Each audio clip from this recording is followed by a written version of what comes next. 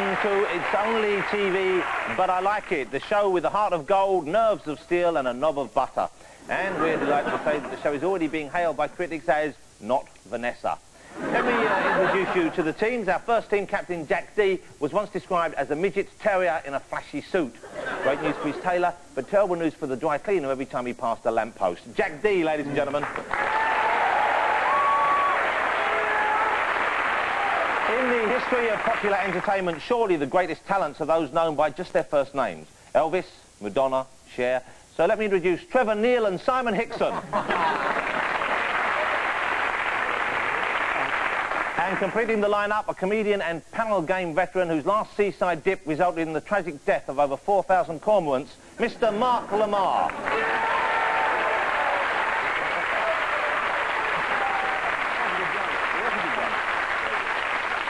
Opposing Jack in almost every respect, a comedian described by the Daily Mail as promiscuous and forthright, by the Sun as the undisputed master of the double entendre, and by the Sydney Herald as that puff off the telly, Mr. Julian Clary. By his side, one of the country's best-loved comedy actors, tonight in the unusual role of enjoying being the macho one for a change. Please welcome Mr. John Inman. And finally, on Julian's team, a highly dangerous animal. Normally a beast like this would only be allowed on TV if accompanied by two highly trained handlers. We couldn't afford that, so we had him spayed instead. it's Wolf.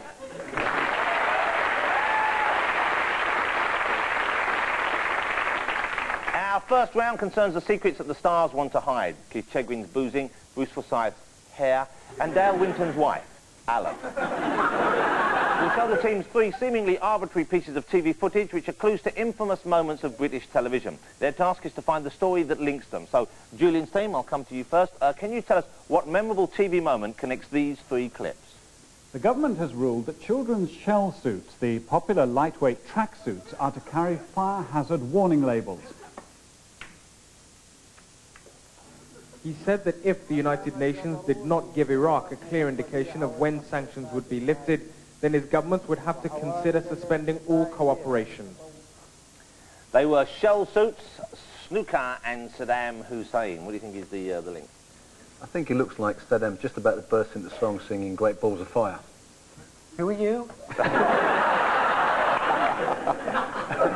read your, the, the CV they sent to. Apparently your thighs are 27 inches. 28. Is that true? Absolutely. Oh, fancy. I only have thighs for you. You're in a world of your own. Thank God. Um, So if there's anyone passing by who does have John's medication on him, and they like, well, I'll tell you what I think. Shell suits are a mistake. He's wearing beige. mistake. And there's a man bending over balls. Which is the right thing to do. Well, we think it, it might be a, a CIA plot to kill Saddam by forcing him to wear an inflammable, inflammable shell suit and then to make him play snooker with an abrasive cue. What it actually is, I, I think, is that uh, Saddam Hussein is a fanatical snooker player. And, um, yes, he...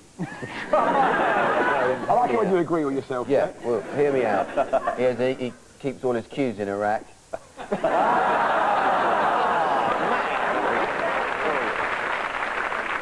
think I know the answer. what would that be?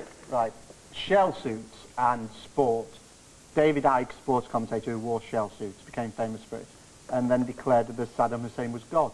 Team captain, what do you, what do you think is Right, the answer is um, David Icke, uh, who was a, a, a snooker commentator.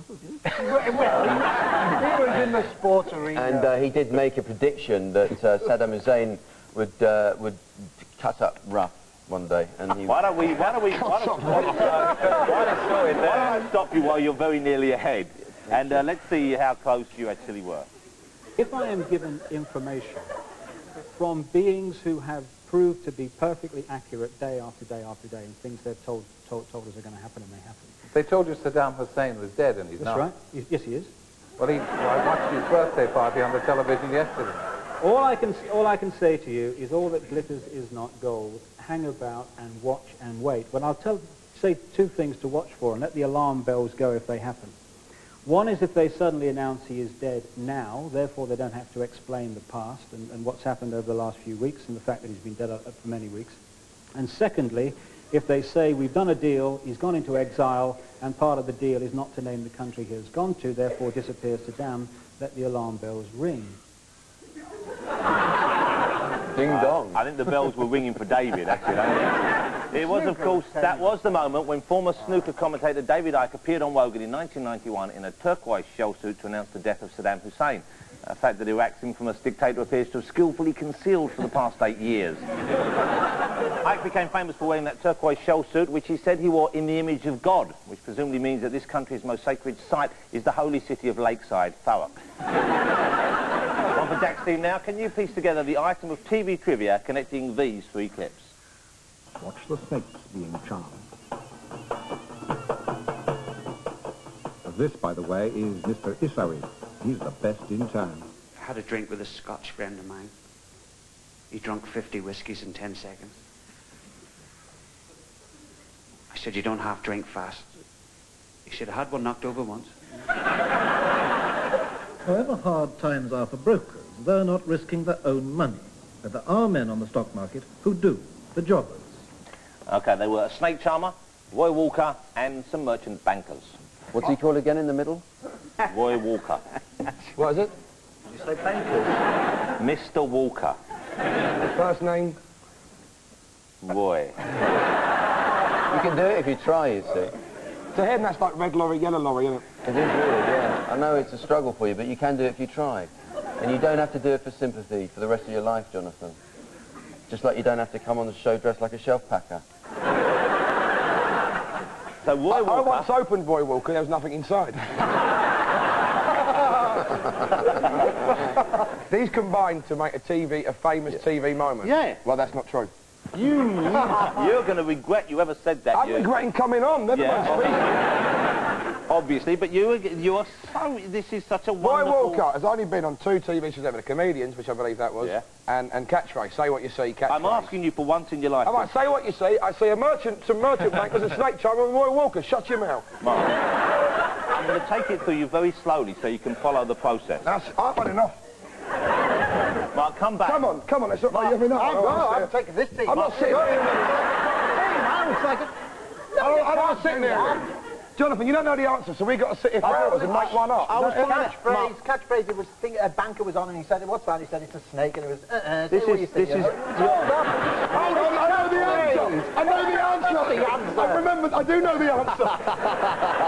Oh yeah, and the answer is You're quite right, Jonathan. It's a very good question. yeah, and you know the answer. You know why I know, and you know why I know you know the answer because I showed you this clip at my house about four years ago. That's why I know you know the answer. I'm You never know been to the your house. Don't say that to people. There's a clip Yeah. on, on the, the Say What You See show catchphrase Yes. that uh, the answer was snake charmer, but it looked like someone toss it, tossing off. You see, when we work together, you see what we can achieve. Let's see how, let's see how right we are. Centre one. Five seconds.